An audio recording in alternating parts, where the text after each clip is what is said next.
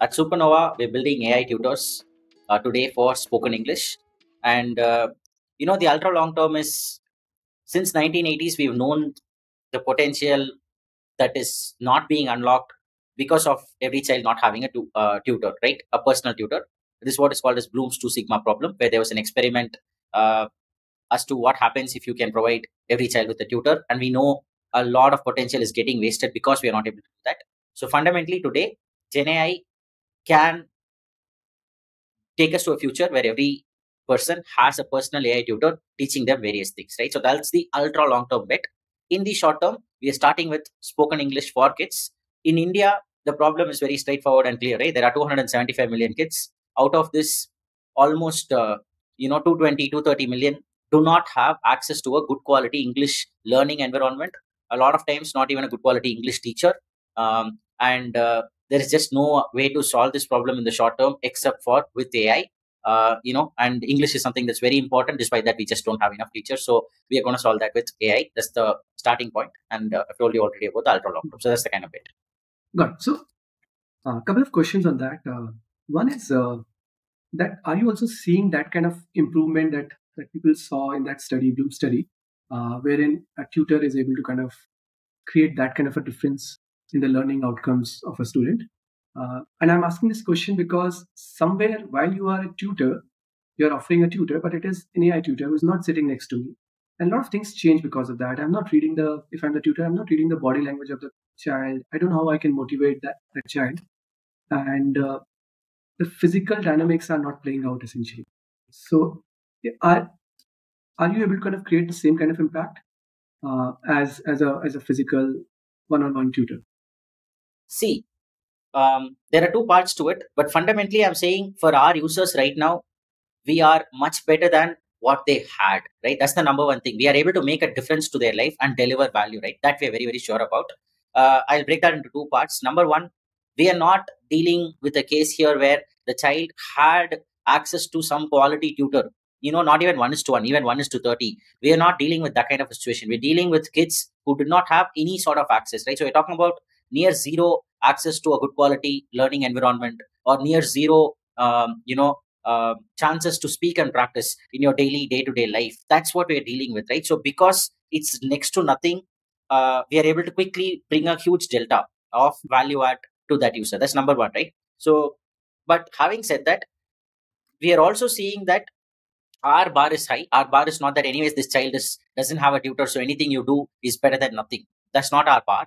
Our bar is what you said exactly. Can we reproduce the magic of someone sitting next to you, very compassionate, very intelligent teacher who understands how to motivate students, teach them, etc. Can you reproduce that with an AI? If you're able to do that, you know, figure out the product, pedagogy, technicalities, etc., and pull it together to give that kind of a service, that's when it's magic. And uh, what we are seeing is that yes, uh, it is definitely possible, and we are able to do that uh, with a significant number of our kids, uh, where we're able to drive those kind of learning outcomes. Uh, yeah, that's the, let me stop over there. You can push me. Yeah. And how do you measure those outcomes? Uh, is it that yeah, how, how do you see that? It's it's not like you're not having the scores or their report cards and all, which anyway, you know, kind of I don't know how, how well they have how much that work uh, because it creates a different kind of a dynamic that you start you know going after scores and grades and somewhere learning gets compromised so how do you i think the question is one is how are you ensuring how are, how are you measuring that there is improvement? And second is how are you ensuring that this measurement is not coming in the way of learning because sometimes the metric becomes a goal and then you start gaming it? No you're right. So i think uh, first off we measure and we are very objective about this.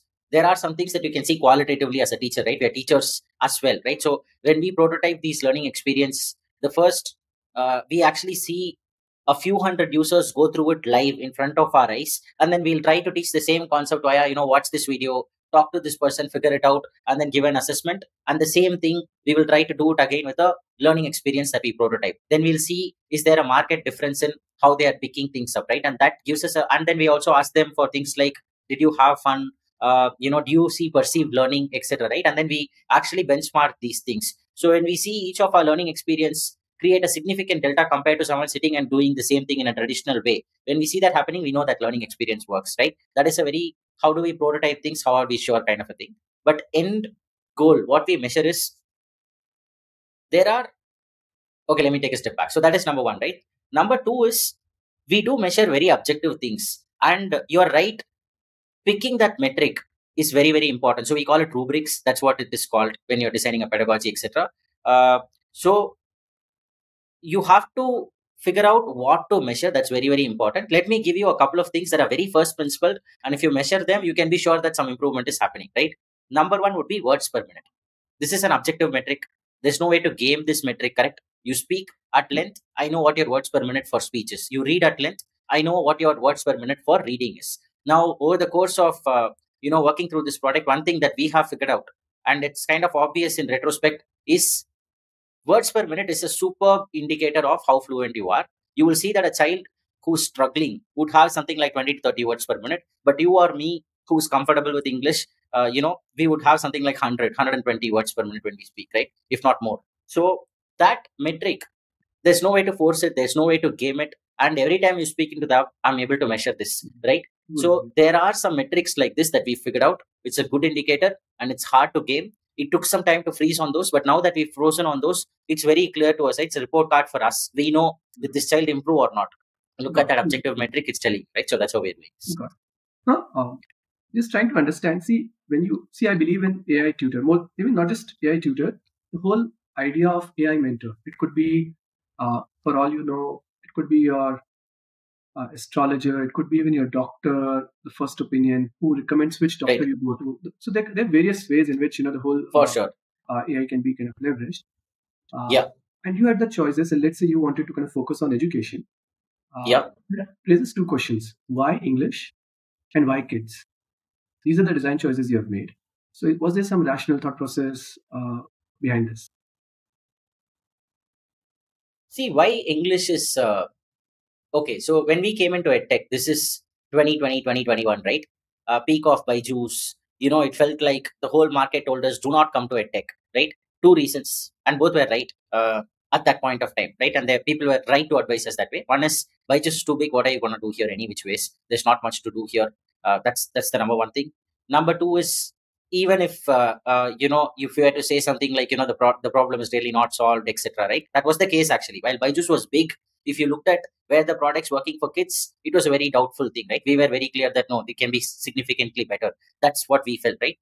People told us even if you build a much better product and even if you solve a problem that's worth it for your users your CAC to ltv will never work out. This is the problem for every single edtech today. So you know it's just not making sense. And we were also making this choice of going after middle india. So long story short before we came the playbook was especially if you don't look at test prep and rest of k12 the playbook is go sell to the top 10% sell something worth of $500 or $1000 that was the playbook and everybody was going after that right we said no India does not need $500 products. The mainstream India needs something like $50, $100. That's what's affordable for them. So let's do that. But the problem everybody saw was, hey, you are going to an industry where CAC is in the range of $400, $500 and you want to sell this $50 thing. That's crazy, is what people told us. So that's the context. Let me first hold over here. Do you understand how we are coming here? When we are Yeah. coming, what's the big picture that we're looking at?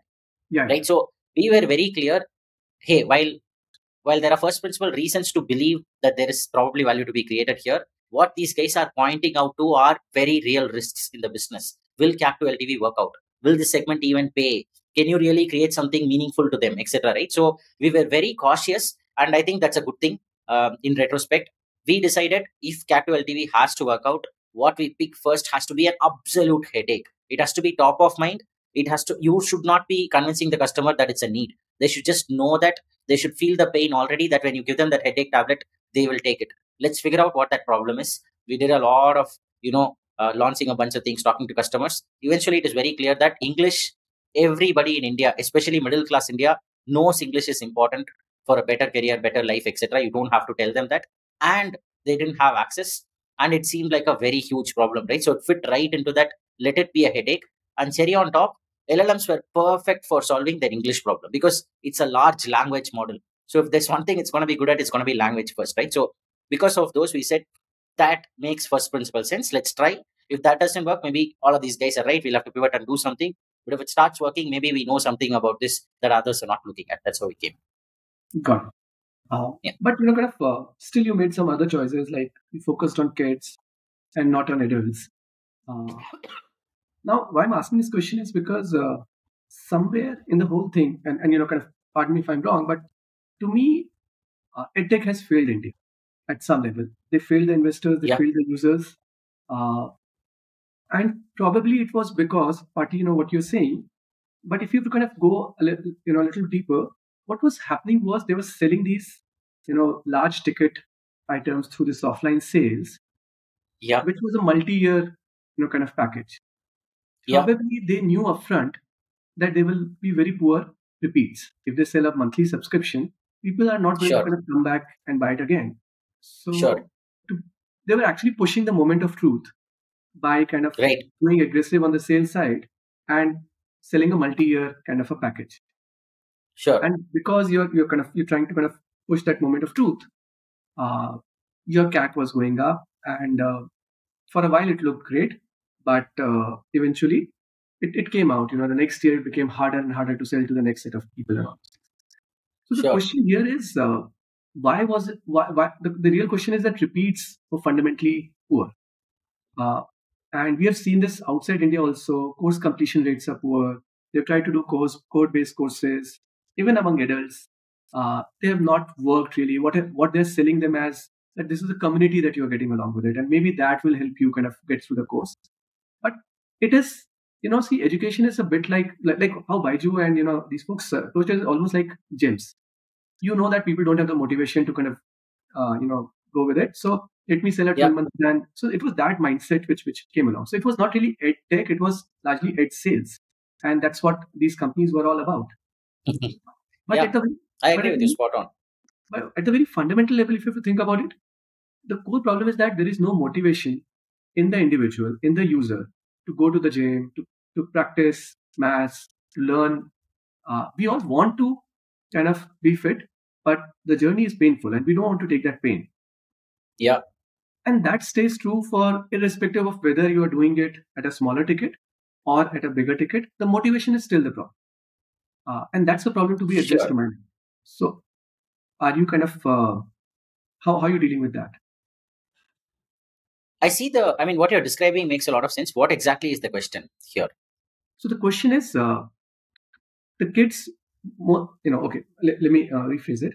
The question is that adults may still have some motivation to learn, Hmm. but the kids are like they're, they're they're very you know in a very different phase of their lives. It's they will not have motivation. So product where where the outcomes are dependent upon motivation will not work. Will will will be harder to kind of uh, generate repeats, and that's a moment of truth for a product. So if the repeats are not happening and they are not happening because of motivation, it becomes a hard problem to solve. So why kids? Why not Sure. adults? They still have some motivation. Kids are even harder in that sense. Okay, so hmm, let me break that down. So the question really is you're solving the gym problem. You know, that's what made, uh, you know, the previous ones that came before us go in a certain direction. Why will you be different? So I see, you know, two, three questions here. So let me break this down. So number one is high ticket LTV, high ticket size or low ticket size. The motivation problem remains the same, 100%. I agree with you. But the market expands drastically. So, you know, it's not just that the products didn't work, so the CAC shot up. It's also that the product didn't make sense for this market. Let me give you an example. Let's say you're trying to sell a 30,000 rupees spoken English course. This is what it is. You can go check, you know, all of these guys trying to sell spoken English courses. It is this. Now think about how absurd that proposition is. If you can spend 30,000 on a supplementary offering, you probably already are going to a school where the spoken English is not your problem, right? So that particular offering, those who need it can't afford it.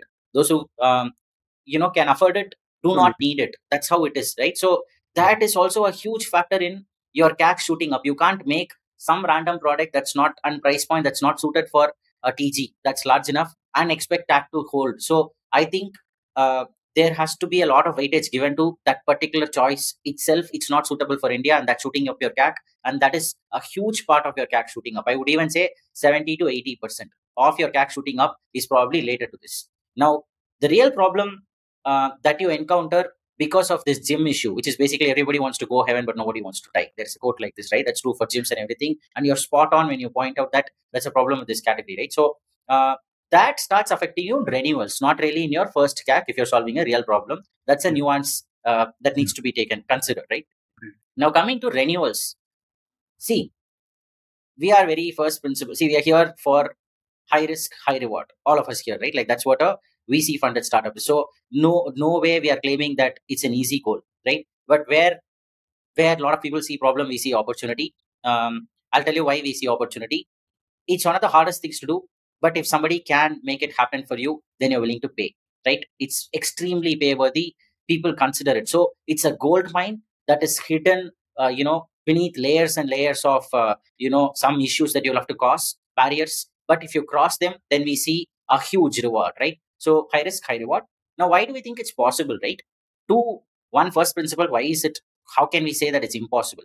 Yes, it's hard, but maybe you can create the right system to do it. And there are precedents. So if you take the Duolingo, for example, do you know that more millions of people on an app that's not a class, there's no teacher coming and forcing you, there's nothing of that sort. Do you know Duolingo has millions of users who have a streak, a continuous streak of more than one year? Do you know that? Providing that more than one year. Yeah, think about how crazy that is, right? So you can do that. It fundamentally takes a different DNA. It fundamentally takes you reinventing everything and not listening to all of this noise and just focus on the customer. But you can do that. There's this other company called Kumon. Now that's a 70 year old company, 60, 70 years old. If you look at Kumon, they do 400 million in revenue.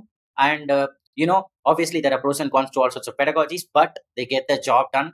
They are able to get your kids to do worksheets on a very regular basis. And, uh, you know, take kids, you know, the biggest selling point if you walk into a Kumon center is they will tell you, give me your child six months, one year. If they are in grade two, they will start doing grade four math and you will see that they will start showing you sheets, etc. It's undeniable and people rave about it. So, you know, for the right kind of system, if you reinvent it and make it easy for the user, maybe we can jump into that. I believe it is possible to create a system which makes it easy for people to overcome their own um, internal issues, which is I want this goal, but I just don't have the discipline to go after this goal, but I really, really want it. And I hate that I can't uh, achieve this goal. There, your product needs to help. You figure out how to help the user with that particular thing, issue that they're dealing with, and that's a gold mine. That's how we are looking.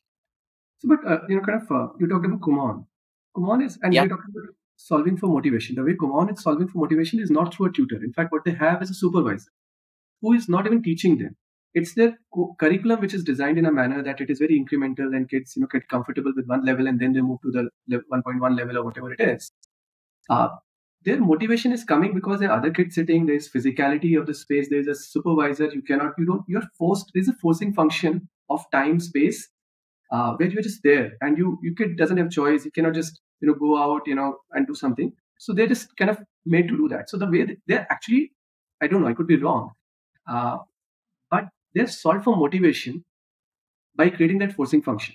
And you don't have that forcing function. So, and that's why so, I go okay. back to my question that why yeah. kids? And I don't know when, you, when you're talking about more than a year, streak of more than a year on Duolingo, was it kids? Was, was it adults or what was the No, issue? it was adults. Okay, so let's split this out, right? I would like to answer the question of why kids uh, later. Let's first just tackle this first principle issue yeah. of hey, all of us have these things. We want to be fit, we want to learn, and all of us to be hmm. honest, suck at it, right? Like because that's why MOOCs have completion rates of five percent. As humans, we are flawed there. We are not able to, you know, forego short-term gratification to go after a long-term goal. That's a flaw mm-hmm. with humans right now. So the real fundamental question that you're asking, and that applies to a lot of places, is: Are humans going to be able to create systems that help them beat this fundamental flaw and achieve goals? Right? Are we able going to be able to create that? Yes, or no is the first first principle question that we are answering correct yeah. and there I, I, I agree with your question that kumon in its own way and, and you know uh, duolingo max in its own way they have kind of proven that this is possible and you are saying yes. we, we are also kind of gunning for that? See, if it is first principle if it's possible the moment it's not impossible anymore then as an entrepreneur i start chasing it because there's a gold mine on the other end right? So if it is possible there are 250 million kids here. You solve it you can create massive good and you can make a lot of money in the process. Why not right? So we are not shy of challenges. So the moment you decide i mean if you're saying first principle it's not possible then we'll take a step back but if we start seeing possibility of you can make it happen we won't right so, so that's how we are going yeah, yeah. Uh, so, so, there we are we are aligned the question is yeah. for kids it has been solved in a physical environment with a forcing function for what you're saying has been solved uh, for adults in a with gamification and streaks and you know maybe leaderboards and all that what you're saying is without forcing function, kids can, you know, kind of be, you know, kind of, uh, you, someone can drive outcomes there. Yeah. How are you going yeah. about it? One is, you know, there are two questions here then. Yeah. Now let me come to the second question of kids versus adults. Who yeah. has bigger motivation? Correct. Yeah. And why did you make that choice? See, I wouldn't say this particular thing. I considered it very deeply when I made that choice. Uh, it was more like there are enough kids here. Let's try to solve that problem and see where, where that takes us. That's how we got in. Not with super uh, great clarity that kids will have more motivation, less motivation. We didn't know, right? Uh, and in fact, when we came in, the thought process is don't sell to kids, sell to adults. Not because of the motivation issue, more because of this factor that buyer and user are the same when it comes to adults. So, you know, from a distribution standpoint, you do have a strategic advantage. It's a different uh, ball game, right? Uh, that was the reason that concerned us at that point of time. Maybe I'll answer that later. But I'll tell you what I'm seeing now. Now we actually started selling to adults, which you probably saw. We started recently experimenting. And the mind blowing fact is kids are four or five times more consistent than the adults. The average kid, the retentions are way better. So, you know, at least, and we've been doing this for a while, right? So, what we see is kids are super excited by small things like animation, gamification, leaderboard. If that can make a certain kind of impact on a 25 year old, if it can have that kind of an impact, I mean, kids are even more excited about those small things. A character telling them, hey, wow, etc., means the world to them. So, uh, probably because of that, or exact first principle reasons, I don't know if I've thought about it enough to distill it, but I am sure that end of the day the kids are easier to take through this pedagogy and uh, drive learning outcomes and by a mile compared to the adults. So you know at least from what i'm seeing operating i i see very different reality. Definitely kids are not less motivated right? That is the right. thing that we are seeing. Yeah. and when you see kids kids itself like you know i've i've a kid in class 4 and another kid in class 7 so they're very different. Like it's 3 years apart the way they think the way they kind of the kind of things they like it's like they're very different, and I see that journey. I don't know, you know, you're too young, you don't have kids, so you, you may not relate to that. But when you're saying kids, you're talking about from K1 to K12 or something like that. But this is like K1 is is is is nowhere clear, what, uh, you know, similar like uh, to K12 kid. So yeah. within that, uh, while you are chosen kids, there are like multiple sub segments there. So how do you think about that? And are you focused on one sub segment over other, or there you're seeing better results on one sub segment over other? Can you talk about that? Yeah, see, we are seeing better results in grade 1 to 8. That's where most of our users are clustered. And in retrospect, you can reason with it very well, right? You can say, you know, 9, 10, 11, 12 onwards, that board exam starts mm-hmm. taking precedence over everything else in the parents' like head, right? They just don't want to do anything else. You know, exercise can wait, good habits can, everything can wait except for that examination is how it is, right? So that's probably why uh, you know it's something that we expected but it's not like we optimized for let's not get kids from grade 12 naturally that was the expectation and when we went in you can see that in data. It's like a sharp drop. You can see that board examination come to every one of your charts right? Yeah. so that is happening on the other segment uh, i mean on the other end. And then on the younger end obviously the kid is too young right? You're not really expecting a pre-kg kid. What can you really do with it right? So you uh, we also maybe we'll do something in early childhood later but at the moment our product our offering is not really uh, supposed to resonate with a pre-kg uh, kid for example or somebody eight is what you're focusing. And within that it, yeah the, behaviors play out. The median kid is 3 4 yeah there is a lot of differences. What we are seeing is you know uh, the thing that surprised us. So these two are very obvious, right? Like you don't expect pre-KG kid, you don't expect grade 12 kid. Okay, makes sense. Hmm. The thing that surprised us was why do we thought actually a lot more clustering would be there on the younger side, right? Like we thought the younger one to four would be 90%. That's what I would have expected if you would ask me to guess. But what really turned out is one to eight. It's a, it's you know, five to eight also has a substantial, you know, substantial amount of kids trying to do this, kids and parents. And what we are realizing is, uh, for different boards and different kinds of people the time in which they become serious about english turns out to be different. So for example if you're in a cbse school icse school etc then you're probably a lot more worried early on. So you would see that in the early grades over there there's a lot more conversion. But with something like state board etc maybe when, when it comes to 5 6 is when it hits us. So with state board we'll see peaks around grade 5 grade 6 maybe even grade 7 at times right? So uh, like that depending on the board and a bunch of other factors different people choose to become serious about English at different times. And because of that, it's not one to four, it's one to eight. That's what we've seen.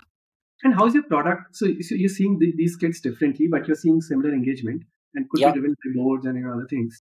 But yeah. uh, is the product same for both of both these subsegments?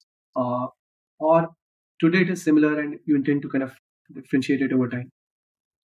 What is same? See, inside the right now we are very much evolved, right? There are multiple learning tracks that and uh, you it's not one track for everyone right? So we have six broad tracks for kids. And then within those there are a lot of nuances. It's aligned to the common european framework etc right? So when you come in first thing that we do is do a level test. And then we take into account you know your other factors like okay maybe your level is low but then you're an older child. Maybe you are a younger child but your level is high. So there are some nuances later to that. So all of this goes into uh, you know determining which track what kind of assignments are uh, going to come to you. So the fundamental product capabilities are exactly the same but as a user you would experience the product to be very different like what a, a child in one track would see would be totally different from what a child in another track is seeing being pushed on being challenged on what are they trying to learn etc right so uh, capabilities wise yeah exactly the same product but end user experience wise very different products for each of these personas Got it.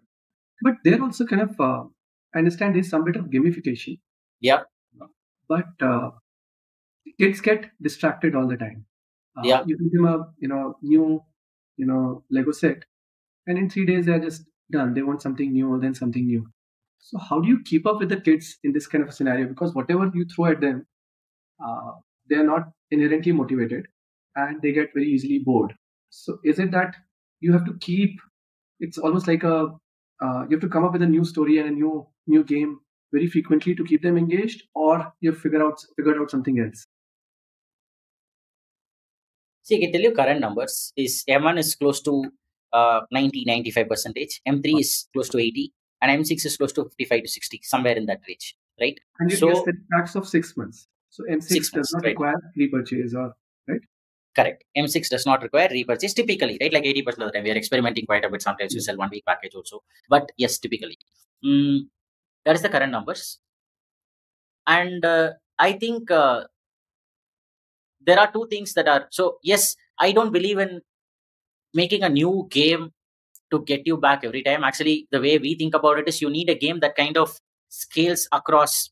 In the sense, you can't build specialized games every now and then. That's not going to work. The content velocity won't be good, and uh, you can't nail so many games. This is too much, right? Mhm. Rather, you're looking for these game mechanics that go across. Like for English, we figured out a bunch of English games that can be employed uh, in a very uh, broad sense, right? I don't have to reinvent the wheel. I'll rather with this game mechanic, I can increase the difficulty, etc., and create progressions for you. I can layer it with a bunch of things where it starts feeling different for you. So that's the thing. We're not trying to create new new games to keep them interested. We don't believe in that right now, right? We think that's not a good strategy.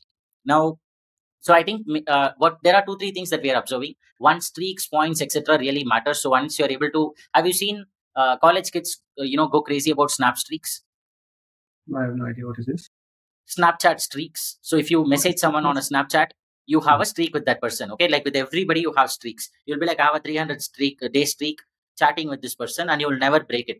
So if you're able to get the user to attach to something like this, if you can get a college kid to attach to some number on an app, really who really cares about that snap streak? Nobody writes, but we do get attached to those numbers, likes, followers. At least those man nowadays you can monetarily link it to something. The snap streak, etc., are the best example. And Duolingo also. That's why the streaks is uh, that that's the thing that's driving. So you can get these kids attached to a bunch of things like this. That helps a lot. And it's been done many times right? Like people have employed these mechanics to to make us do various sort of things. We are just employing them for education right? So that got it, uh, Rishi. This is uh, this is more of an optimization. It is like, uh, but it goes a long way in driving a behavior.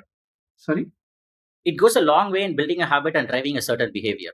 Like employing this well goes a long way it makes a huge difference between see for example uh, just by deploying streaks these are experiments in the past i've seen averages shoot up three times monthly averages shoot up three times. I will not question that. What I'm saying is this is Yeah. not inherently improving the product. It is kind of creating something else in my mind that if I don't do it, my streak will be lost and I'll, I'll be reset to zero or something like that, which is making me kind of do this. And it works, but fundamentally the product, I'm not loving the product more because of it.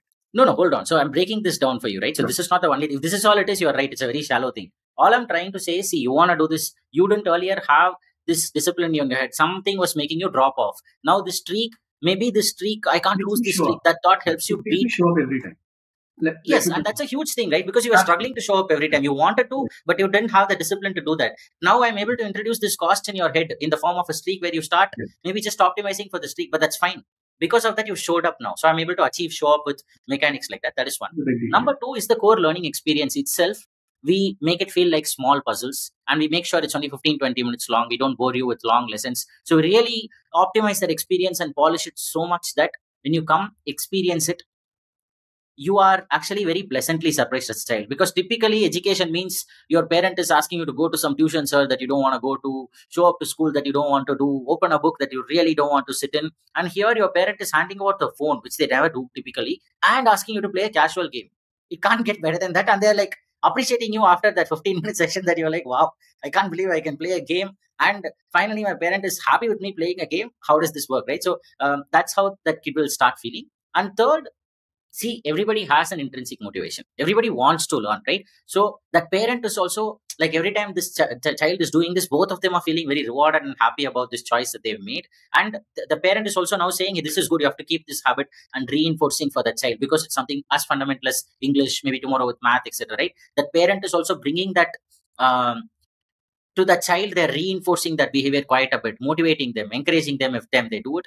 Uh, and all of these things add up and because of that you can take the student forward. And i think that second part which i mentioned of polishing that experience so much and making it fun taking so much care we are able to show that kid a huge delta between what is it used to experiencing a boring class where nobody really cares about do you enjoy it or not. That versus this it's a world of a difference right? So we make it closer to a casual game and we don't give a lot of reasons for you to drop off and nail it with streaks etc and the fact that you want to learn your parent wants you to learn also helps. So that's how we're looking at it. So it's a bunch of things. Got it so, uh, but you know, kind of uh, like the example you took, uh, like you guys have this 20 questions game, right? Yeah. There is novelty initially when the kid gets introduced to it, they want to play it every time. Then they run out of characters, they run out of, you know, all these uh, personalities to guess. Also, it becomes like, you know, maybe the first few questions become boring and, you know, the fun starts happening after that or something. So, what I'm trying to say is that uh, while it's it's great to get you started, but it has its own shelf life. At some point, people will say, "Oh, I've done it enough." Uh, I don't know whether it shows up after one month, two months, after five plays, fifteen plays, but it would show up somewhere, right? There are very no, few things right. which which kind of sustain us. Even if it is we like, yes. like some board games we'll play, and then we'll kind of okay, we are done. We have played it enough. Now there is no no not much fun as much. It's it's that there's diminishing maybe marginal fun also something like that that plays out. Yeah. So how do you kind of bring that back, uh, that excitement back.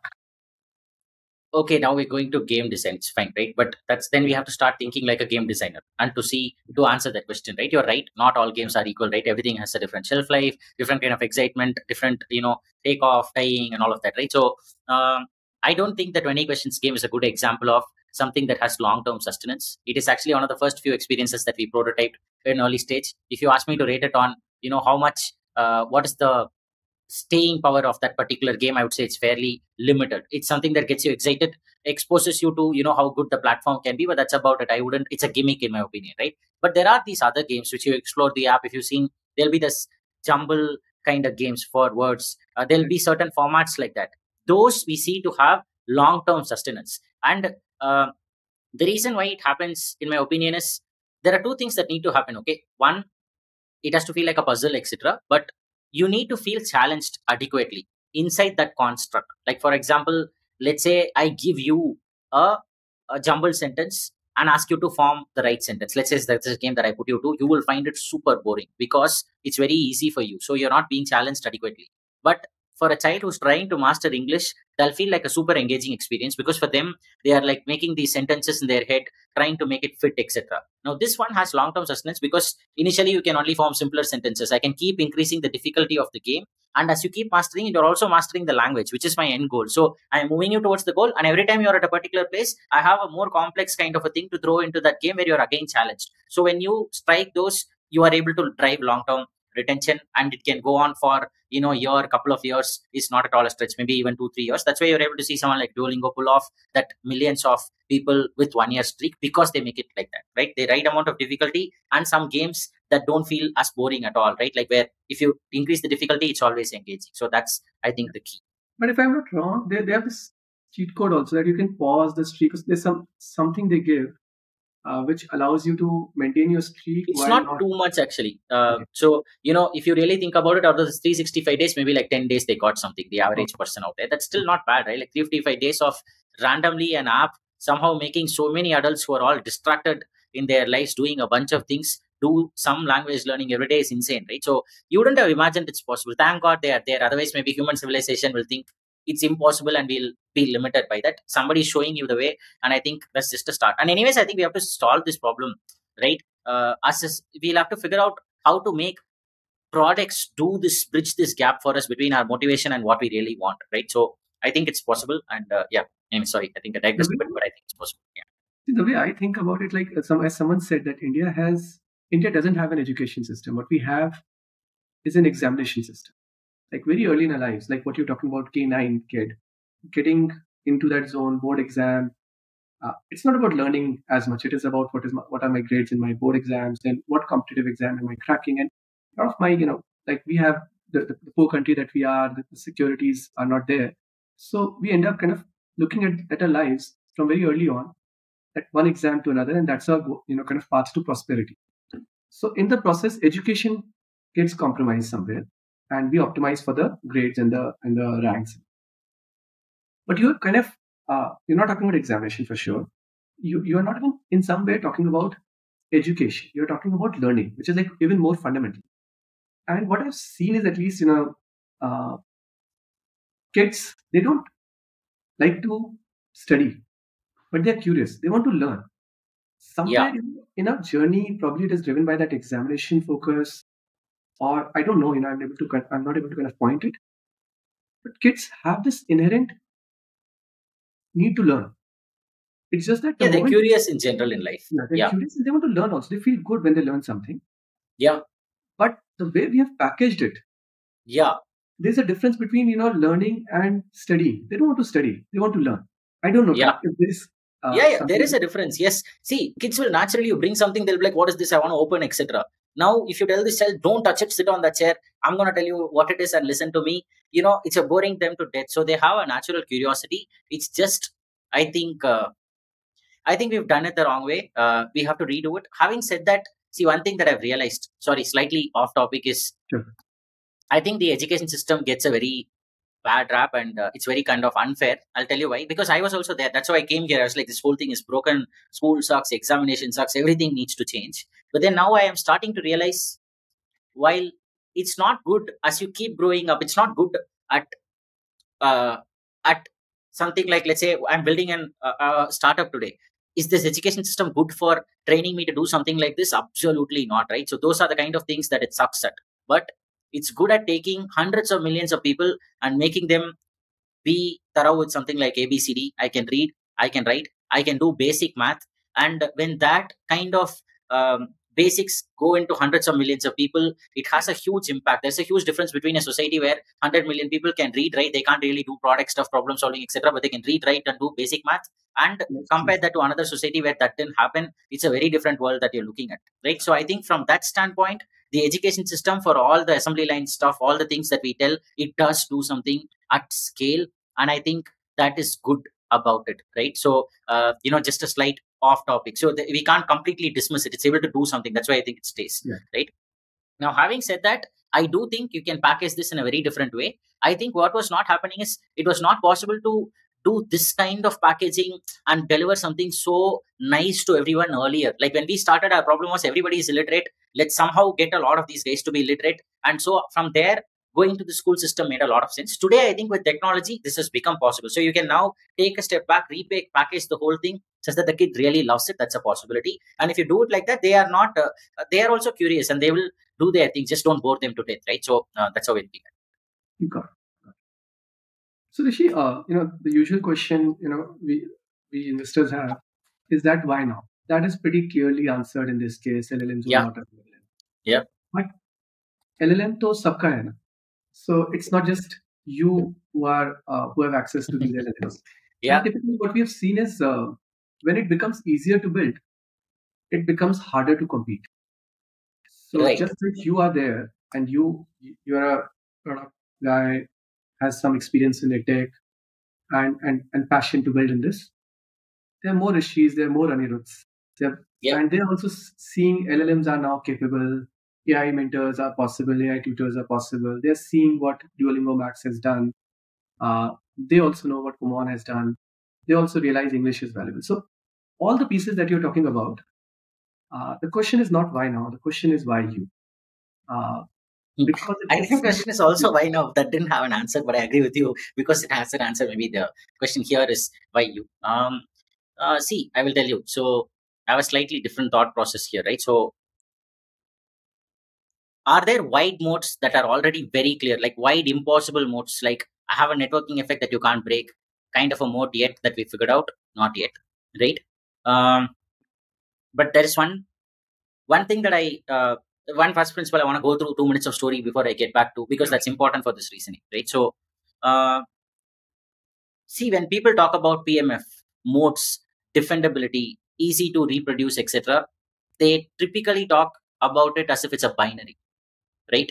Like what I mean by that is people ask me, do you have PMF? Right? The right question is PMF for what scale is the right question? Because I have PMF for, I have all the answers for 10, 20 million dollars of yearly revenue already. But do I have it for hundreds of millions of revenue? No. Someone who has it for hundreds of millions of revenue, do they have it for billions? No. Right? So typically you will just say PMF is there or not. No. The real question is at what scale? There are nuances to it. It's spectrum it's a spectrum is what i'm trying to tell you. It's but a lot of times you'll be, see people treat as if it's a binary thing right? Either you have pmf or no. No i have pmf for a somebody who's running a tea shop as a pmf for a 1 lakh rupee business. Somebody who's running a coffee chain as a pmf for maybe crores of business right? So you have pmf for a certain kind of a volume right? Similarly when you say is this easy to execute or not? It's not a binary. It's a scale right and uh, you know the other end of the spectrum is you have an obvious white moat that nobody can do you've got a patented technology that nobody else has access to or something like that right Yeah, Or those kind of moats mostly don't exist. You know, like let's say. you can create that i think it's important to think you have to create it for the long term but Well, uh, me, yeah you know, uh, see, I'm not saying you know whether they are moats or not. Uh, I think I I think it, a company early in their journey will not have moats. It's it's very rare. It's impossible almost. Uh, the question here is that when the entry barriers are lower, more people go after it. Let me give you an example. Uh-huh, Like, so no no i agree with you. I got your question actually. On spot on. That's what i'm hitting to. So can i go and if you see that i'm not getting it you push me back. No problem right? so i agree with you. So so yes great. So when you when i can tell you that it's impossible to execute uh, by copying me is when i have a wide moat that's my first point which i don't have at the moment. Now Yeah. having said that is it a easy business really no if you really think about it see i've operated in a lot of lines of business i've been in e-commerce been in you know ClearTax kind of SaaS. I've been um, I've been to these bunch of places, me and my co-founders together, right? I can tell you that if you're not looking at it as binary and ask, what does it really take? How many things have to fall in place for this business to work? It's a lot. Okay, so it's uh, basically what I mean is I'm not selling one LLM wrapper app that anybody can do in another two days, and that's all the business is all about. If that was the case, you're right, right? I'll tell you the number of things that has to fall in place for this, right?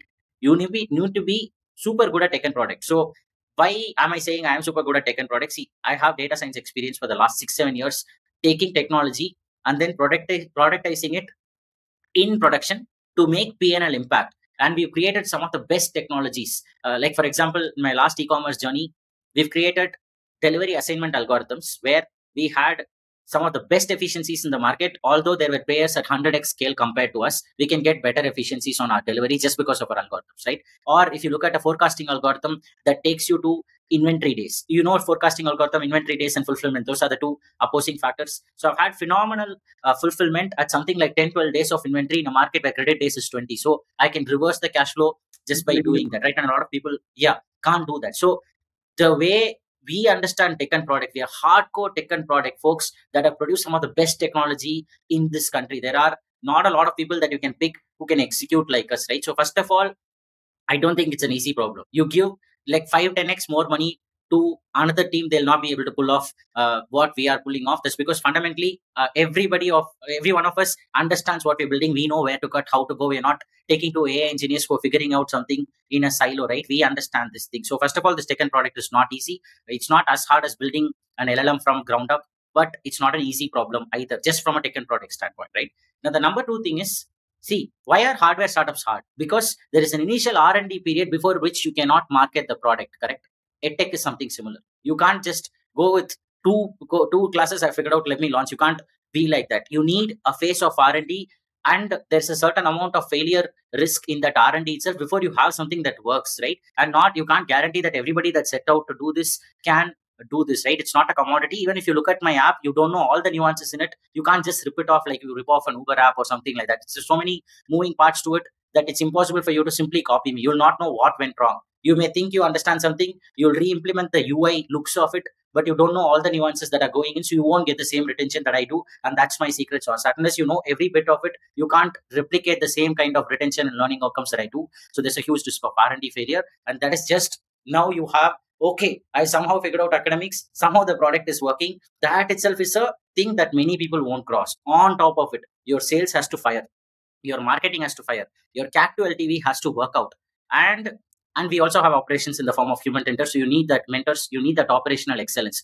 All of this needs to happen. So you would pick a random team give them 2 million the VC is going to be like, where is growth coming? But this guy needs to do a year or two of work, and there is a lot of failure before he gets something that can market like us. And God knows whether he'll crack sales, marketing, etc. So my point is, it's not as easy. It's one of the most difficult businesses out of all the things that I've done. E-commerce may it doesn't matter. You throw more money at the problem, give give thirty percent discount instead of twenty percent. People buy from you. That's all it takes to switch someone. It's a commodity. That's not the case here, and it's there is no guarantee that you can throw money at someone and they'll win but you can do that with e-commerce right? So it's a very difficult problem. It's not as easy.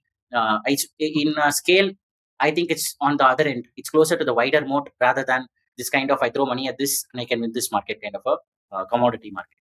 So yeah. so couple of comments here. I think uh, most founders you know and that's how it works. Like we we kind of rate ourselves on what we want to do what we have sure. in our minds uh, sure. our roadmap, vision, everything. And when we kind of rate our competition, we look at their last year's product or last year's number. so, sure. And maybe yeah. it, it's, it's, it's, maybe there's a bias. You see, yeah, I agree with you. Somewhere you have to believe that you're crazy enough to disrupt. That's when you can be an entrepreneur. So I think there could be a bias like that. I agree with you. Yeah. So, yeah. but that apart, see, I understand on the product side and, you know, kind of bunch of experiences coming together and, you know, building this product and real passion behind it. But when it comes to marketing, when it comes to sales, you know if your product is better it does not make my product worse. Uh, i have to kind of fight my own battle. You have to fight your own battle if you're competing.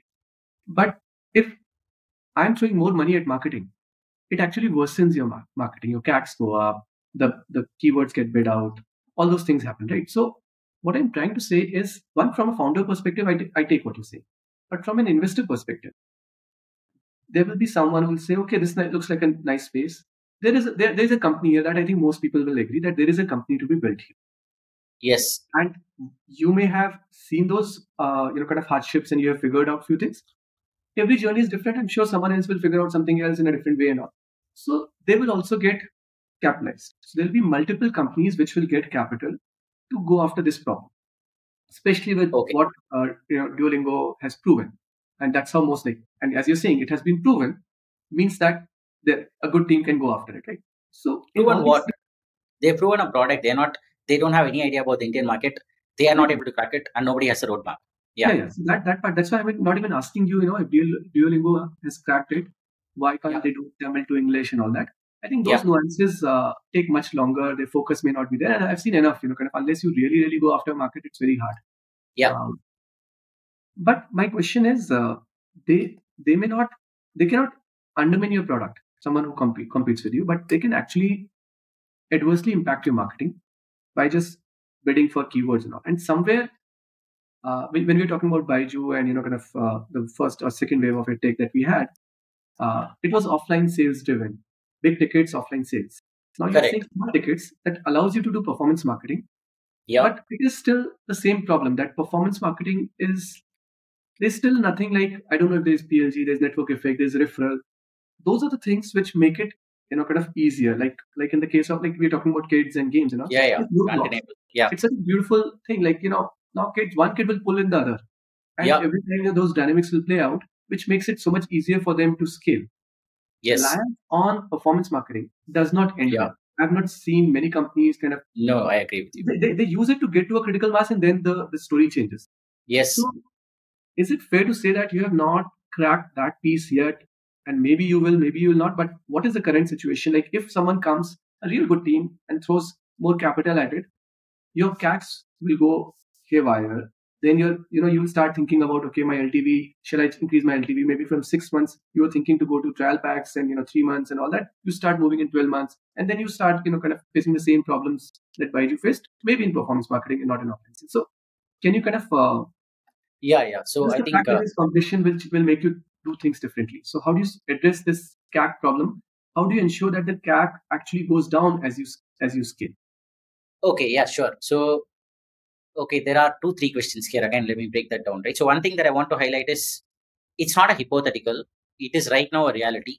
I don't want to name any names, but there have been very well funded players who've been here before us, probably had four five x of our funding who've been trying to crack this space, and it's not like people are not trying to crack it already. But I can tell you, there are very few people who made our CAC to their CAC to LTV work come as far as we have, and they've been trying for two, three years. So why am I saying that? Am I saying that you know I am the best? Nobody can do this? No, I'm just trying to point out that many people have tried, and the success ratio has been so poor that you have to start assuming that something about this market is hard if you look at that particular data point it's undeniable right? And it's not like we are trying english for the first time. There have been so many well funded players who tried to crack it. Nobody has come as far as we have so far. So obviously if you just look at that number it is a hard problem. Somehow we've crossed one great filter. That could have been anything. There is a filter there that is filtering people and we seem to have crossed at least one of those right a very great filter where you're getting to millions, tens of millions of dollars. Millions is very clear to us now. I think that's fair to say. I think we um, uh, we've crossed that. A lot of teams have not. Right. That is one.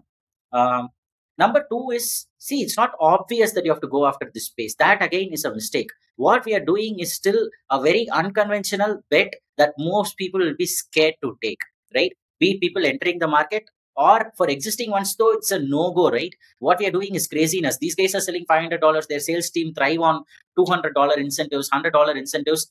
And if you go tell that sales team and that business team, let's start selling stuff at $50, I can only imagine how that conversation goes. It's a innovator yeah. dilemma. It's not going to happen. It's be like, dude, you're crazy. You'll kill the existing business. That's how it will be inside those companies.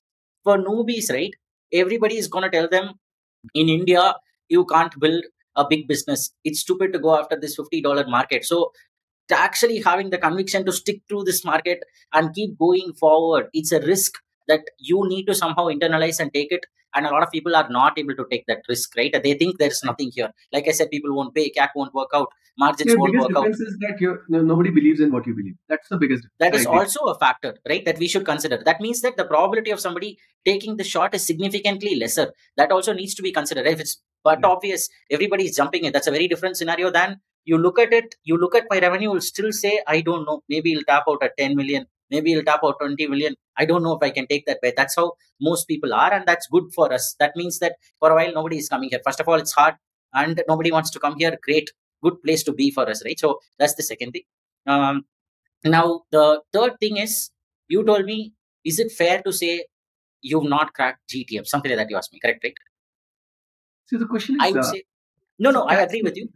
CAC seems no, no, I agree with you. So I'll tell you what I have answers for, and honestly, I can with what we have figured out so far. 10 20 million dollars of revenue without any new offering nothing else falling in place today the unknowns that i've uncovered if i just execute on that start scaling this we have answers for 10 to 20 million do we know how outside of tamil nadu right uh, yes that, because see we, we are very we're going to launch we that is something that I can tell you with a high certainty that whatever we made it work in Tamil Nadu, we'll easily make it work in another five to ten regions, if not more. So in Tamil Nadu, we are very confident of two three million dollars of revenue, uh, revenue run rate. So it can be uh, 10 20 million dollar kind of business. We're very sure about. Now 20 to 100, I think the thing that's going to make a difference between us being a category defining giant and a biggish company, maybe doing tens of millions of dollars, is can you crack organic viral uh, referral can you innovate on distribution? Can you do that or not?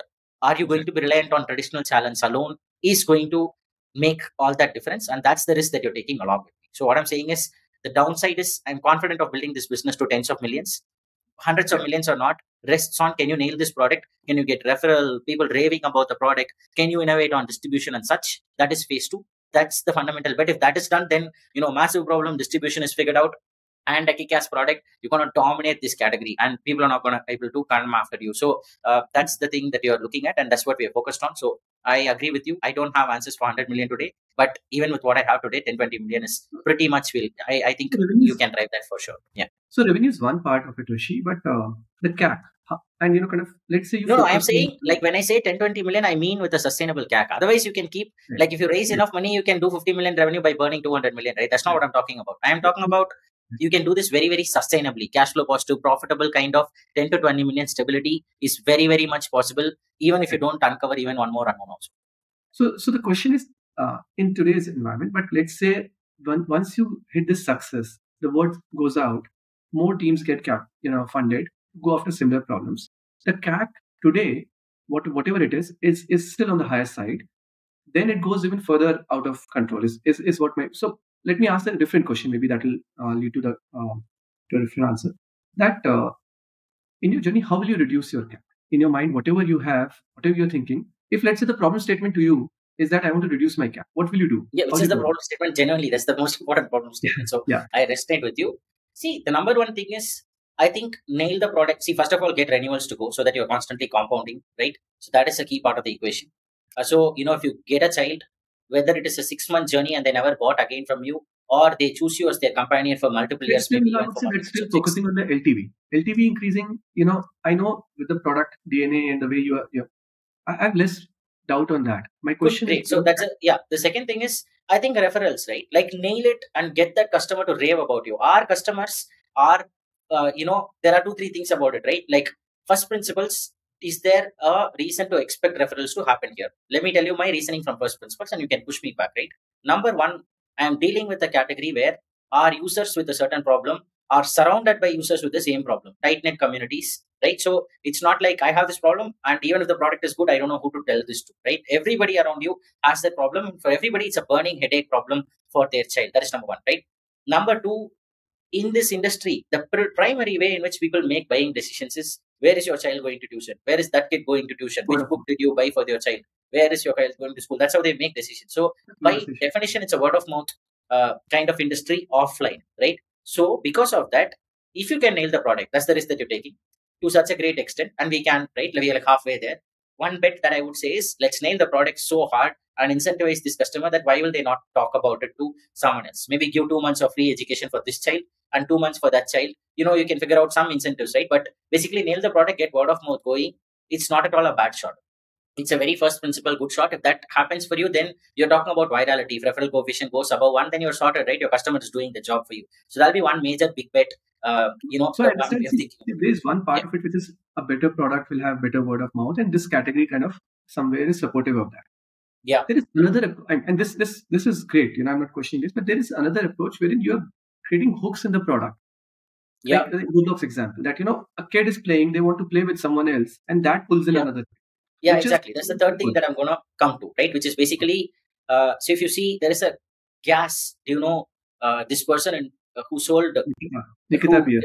yes, Nikita Bier, two times he made something go viral within school network. Same product he sold to Facebook twice, right? Yeah. And uh, see, there is a, Facebook, once to Facebook and then to this one Discord. Second time to Discord. yeah sorry yeah two times he sold the same product once to facebook once to discord yeah that's correct yeah so uh, now fundamentally first principles we believe you can engineer virality in any category low cost distribution in any category this is something like someone like david sacks will tell you david sacks ceo of paypal Right. if you Yeah. follow that guy for example there is uh, there is a talk in which someone asks him you know what was in the water at paypal because all of you guys went on to create some insane companies like youtube linkedin Tesla, SpaceX. So what really Yammer, what really makes this uh, group of people successful? And one thing that we said is we are the first to understand that you need to innovate on distribution and you can.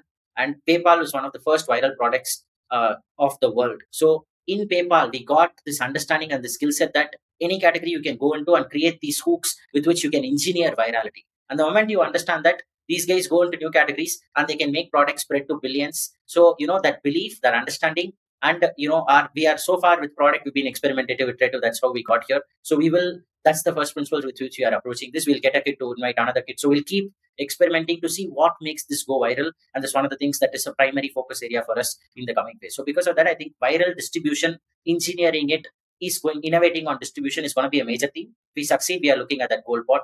Otherwise we'll have to see right? So. So there's just uh, one more question I have broadly, uh, and we're almost uh, we're almost there also time wise. Yeah.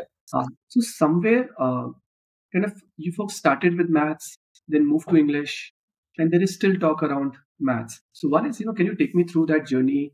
You know, why you started with maths, why you moved to English, and why do you think you will again have maths uh, as as an offering? okay sure i can yeah so we did not start with math Okay. okay it's a long journey actually this was way before funding right uh, i've been teaching various sorts of things uh, you know even product analytics to people uh, data analytics to people just product management to people starting from that doing those kind of professional courses to simply teaching kids uh, math english on my side helping kids with iit and so on so i've been teaching for quite a while so when we came in i told you that uh, hey, like I came in with this whole thing of education system sucks, I have to redefine it, but now I've changed my thoughts to no, it is not great for some things, but it's doing some things phenomenally well and educating a large part of the population. So that learning, where did that come from? And I came in, actually, we started with problem solving via games, teaching kids kids problem solving skills via games. There's a startup in the US called Synthesis.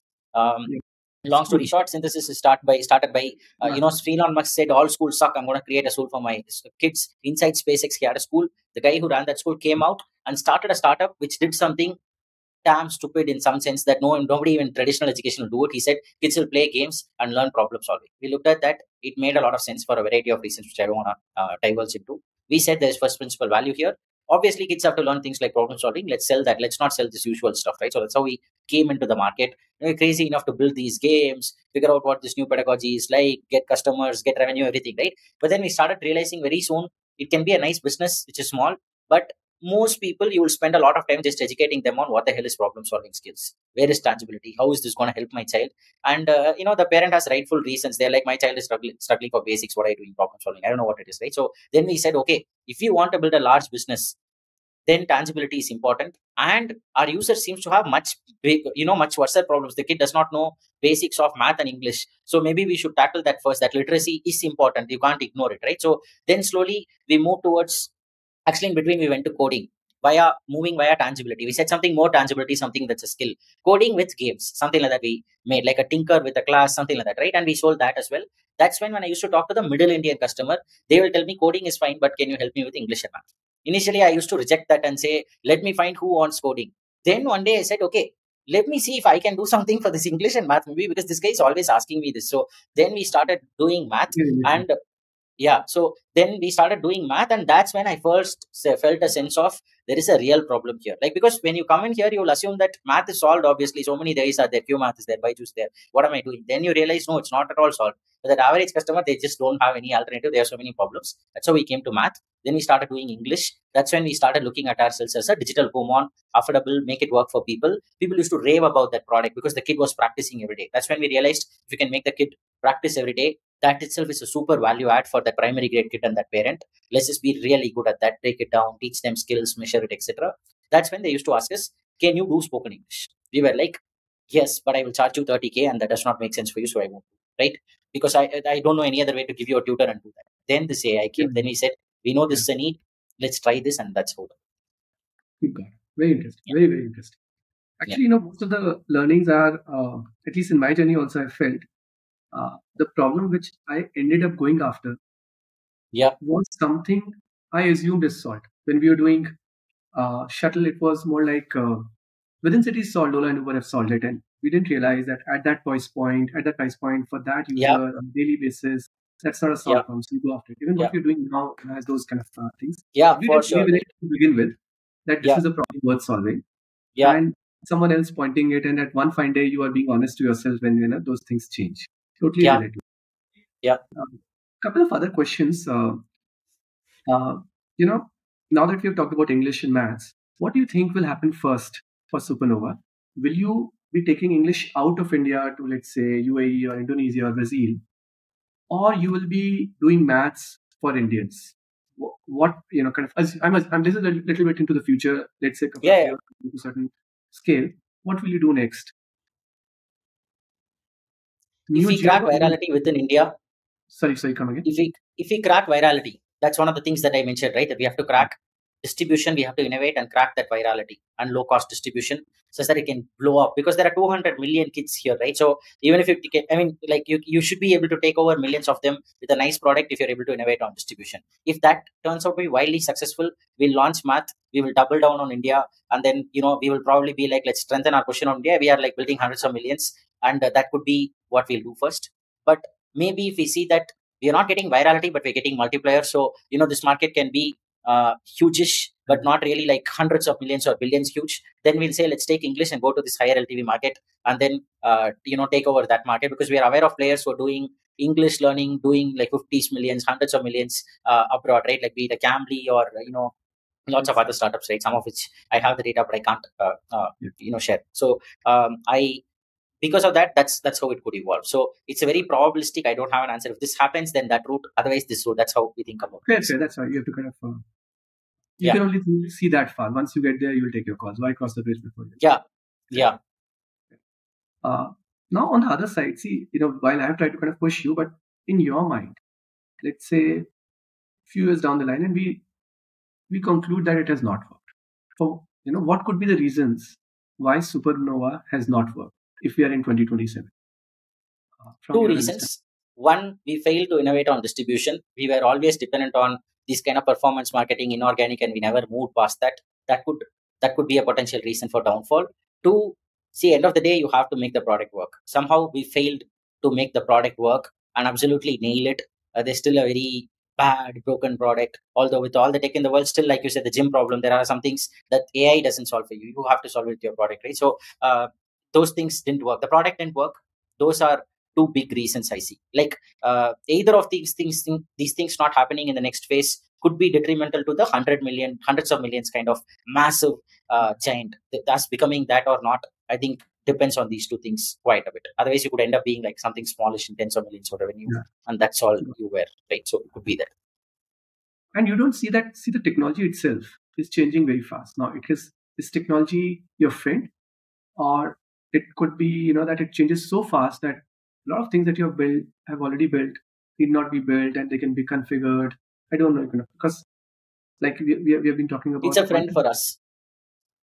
It's a friend for us because we understand what we are building. In the sense, see, for example, I see a lot of startups optimizing. Uh, they will be uh, doing something later to optimizing, or there'll be people solving math problems right now. So we're very particular that the engineering does not go into something that's going to become redundant in, let's say, two versions from now. We are now already thinking if GPT-4 was such a big step up over GPT-3, assuming it's a similar leap on GPT-5, let's build for GPT-5 and GPT-6. Like that's how we think. So but we don't I think dimensions it would be a you know step up no actually not really like basically not really there are a lot of if you actually go through these papers by now people have come up with this this whole debate of on the research side right from an academic standpoint uh, there is always debates about what do these things understand. So there are lots of different types of tests for various sort of capabilities within these models uh, for a variety of reasons right? Somebody is doing it for safety reasons because you don't want these models to become super intelligent and you don't realize it. Somebody is doing it for i think these models are dumb let me prove it to you. Somebody is doing it for what can i really use this for? etc so there is a fair amount of literature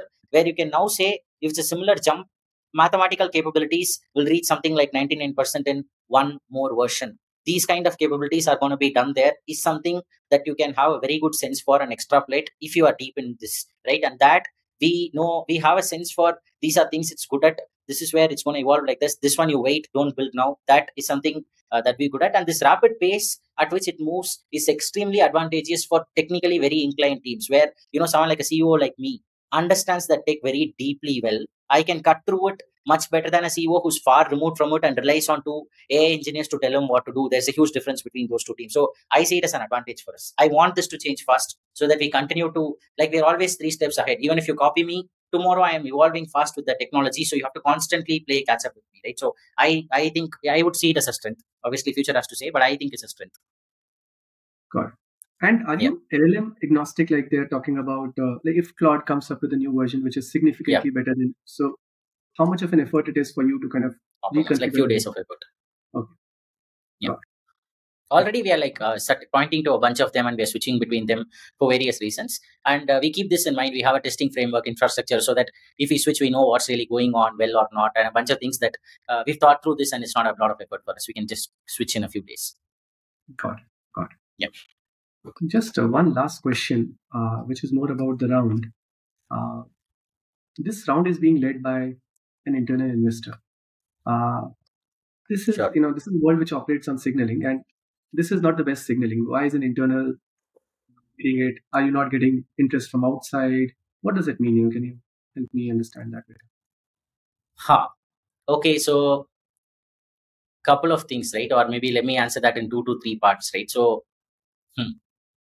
The number one thing is see this is a market where people are not doing pro rata okay? Let's be very clear about that and definitely not in ed tech. So uh, Kae capital is leading this round and actually they put in a small check in the first round. The understanding with which we brought them along on the first round it's nothing for Kae the first round they didn't get the percentages nothing. We gave them a very small percentages so that they can be an observer Uh, and if they really like what we're doing, our second round is already sorted. That's how we thought about it and we brought them in. Uh, you know, if you look at our cap table structures, etc., it'll become apparent. They are not, they were not so deep already. They were very, they had a shallow exposure to us and they, it was, uh, they had a lot of incentive to say, if I really don't believe in it, I can easily pull out. If I really double, uh, believe in it, I can double down. So the fact that they actually tripled their stake and put in $2 million after being with us for a year, year and a half, where they've looked at how we've evolved this thing for a year. So I, I would say if you're really thinking signaling and you're being logical about this, I don't think you can get a bigger signal than an internal saying, I'm going to triple my stake and I'm going to put 2 million in a market where everybody is saying tech is the stupidest bet that you can take. So there is a fear of looking stupid that an investor always, there is FOMO falls that drives investors. So beyond that, if somebody is saying, I know this business and I'm going to put this 2 million when everybody is saying tech sucks, that tells you they look at they're looking at something they're close to us and they're seeing something which is very very promising otherwise they don't have to do that. So uh, that's the first thing about the signaling. Now look at it from our standpoint right? See i am very first principle when i came into this market people said don't come into this market. So i am not coming in this looking at i don't mean to be i don't mean to be rude or i know everything kind of a thing but the genuine truth is i can't make run this business based on what investors think or whether they like what i'm saying what really matters is what my customer thinks. And end of the day um, you know beyond signaling all of that it comes down to did i crack these numbers or not. That's about it. I'm not in an early stage where you know somebody will just think maybe this is promising and they'll put in money. There's numbers that is going to speak for my business. If it works out you're putting in money. Otherwise you're not because the next round is probably something like 10 million 20 million something like that right? So i believe i have to make this number work and that's all i'm banking on. I don't think i would if my numbers are not working it doesn't matter who's on my cap table i wouldn't count on that taking me somewhere. So the amount of value that I give for something like how would this look is actually very little. Call me to first principle. That's how our team is, right? And uh, lastly, if I really think about what am I doing, my job is to get to PMF and solve all of these unknowns like how do I crack viral distribution, etc. And I want to remain focused there with my team rather than go out and try to convince some people for three, four months. What am I doing really when I'm getting the money that I need at valuations that I need and I'm able to focus on my vision and execute and focus on my customer? Why will I go spend my time with, uh, you know, a bunch of investors trying to convince them, etc. I'm just taking the eyes off the ball and that's detrimental for the business at this stage. And lastly, we had a bunch of term sheets. We actually had if you total all the term sheets that we got, we probably got six, seven million worth of term sheets, including external investors, which we have turned down because we just didn't see with that particular investor, we didn't see how much value they were adding. So it's not like the market didn't want it. There were enough people to take it. It's just we were oversubscribed. We got what we wanted without ever going and talking to a lot of people. So we didn't want to waste time. We focused on the customer. So that's how it is, right? So that's what it is, being very candid. Yeah. No, totally makes sense. Uh, the question was also coming from a point of view that this is how the world sees it. Uh, I understand. I understand. I can optimize for the optics or I can optimize for what I think is really mattering here. And I chose to, to be first principle and say I'll stick to what I think makes sense. And if the optics look bad or whatever, I'm not going to optimize it for, for it beyond market. Yeah. Got it. So this is super fun. Um, uh, I really enjoyed the conversation. Um, Thank you. Uh, a lot of things I, we had not discussed in the past. They came out. Uh, some things were, you know, kind of, uh, I knew them already. So, but it was on and all really good really thankful. Uh, thank you for your time. Know, love the conversation.